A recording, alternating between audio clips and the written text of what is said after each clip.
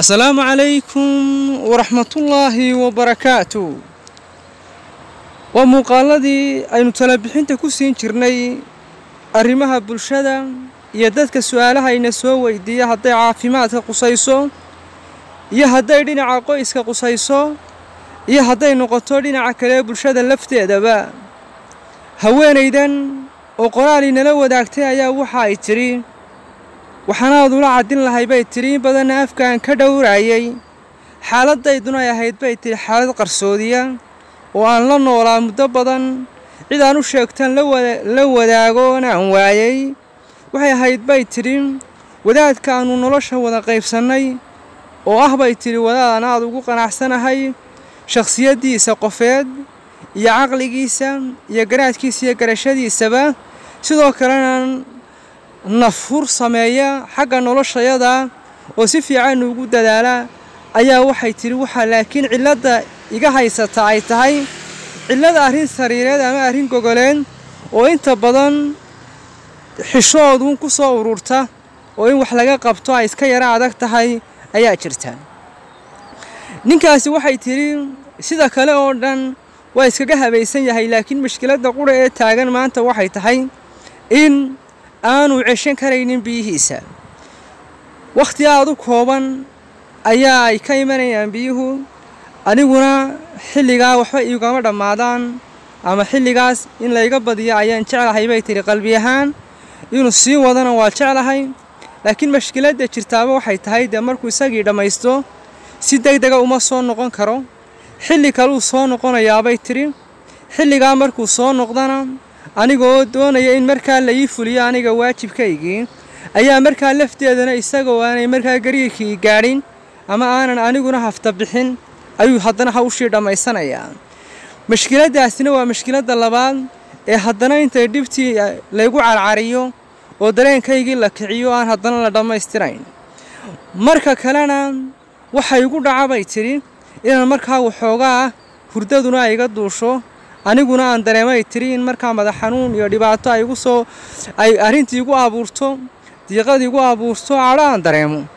Dhibtaasi ayaa inta badan aan wajahaabay tiri. Xaaladdaas oo dhowaanaha nagu soo yaro badanayso markii hore sidaa uu dhaamay oo markii hore siday qoraalkeeda haweeneydu ay ku soo xustay waxay tidhi marka koowaad ama waxaa loo yaqaano karka koowaad ayuunbuu biyuhu soo degdegi jireen laakiin biyaha labaad isku xilli ayaannu hawsheeda dhammaysan jirnay. Laakiin iminka biyihii labaadna way soo degdegayaan. Markaa waa dhibaato aan kala fursan waayey bay tidhi bal cid arrintaa tala bixin ka bixin karta inaan markaas aan weydiiyo. Dhinaca youtube-ka ayaan ka baadhay dhallinyaro aad kala talinaysa iyo ragga xaasasta aad kala talinaysa ayaan arkay weliba dhowr kilibna waa aan dhegaystay bay tidhi. Laakiin haddaad muuqaalkaygana aragto inaad ii soo samayso oo aad iiga soo samayso tala bixin bana aad u jeclaan lahaabay tidhi aad bay u mahadsan tahay. Haddii haweenayda taladeeda aynu aada ugu soo dhowaanno horda marka koowaad qofku dee caalimal qayb maaha haweenaydu waxyaabo aan laga xishoon baa jira. Ninkan maryahaad iska dhigaysaan ee gogasha aad ku wada seexanaysaan ee cawradiinnu ays arkayso hubaad isku tihiin hunnun libaasun lakum wa antum libaasun lahun. Hubaa isku tihiin. Ilaahay baa sidaa tilmaamay.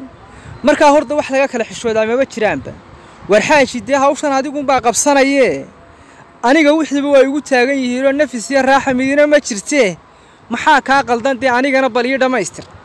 Ninkii markaa uu iscanaananaya waxyaaba badan buu dareemayaa. Ama isagaa isu soo adkayn doona ama dareenkaaga ayuu dhinac kale u soo gudi doonaa adigu kii hawsha kuu dhammeeya uunbuu noqonayaa. Ama haddaad hadalkaa ka xishoonayso qaab kale ayaa dee ku fahansiin doontaa inaad waxaan hawshani aanay kuu dhammaanin. Tusaale ahaan oo kale inaad markaas shucuurtaadii aad baddasho inaad markaas aad hawshii inaad sii wato uu dareemo yacnihii qaab kale oo indhaaragtiya haddaad afka kale xishoonaysaba ayaad ku fahansiin kartaa. Waa laga yaabaa ninku markuu nin weyn yahay ama markuu dee inaanu xaaladdan uu isiraahdaba haweenaydan waa iska qanacday. Ama hadduu doono nin dhallinyaraba uu yahay laakiin uu malaynaya inaad qanacday. Waayo raggu isku wada inta badan iskoobka maskaxda ama qaabka markaa uu fakaraya waxaaba laga yaabaa inuu dee very simple issue uu iskaga qaato arrintii uu soo fudaysado. Markaa horda marka koowaad adiga shucuurta waa inay kaa timaadaa marka labaadna haddii markaas marka dee aad u sheegto ama qaab kale aad ku fahansiiso uu isbeddel keeni waayo. Waa markaa marka talo kale iyo tusaalayn kale iyo wax ninkii markaas arrintiisii iyo ninka laftiisii in la maqlo aynu isku dayi doonno insha allah. Intaasna ku soo urunaya wasalaamu calaykum waraxmatullahi barakaatu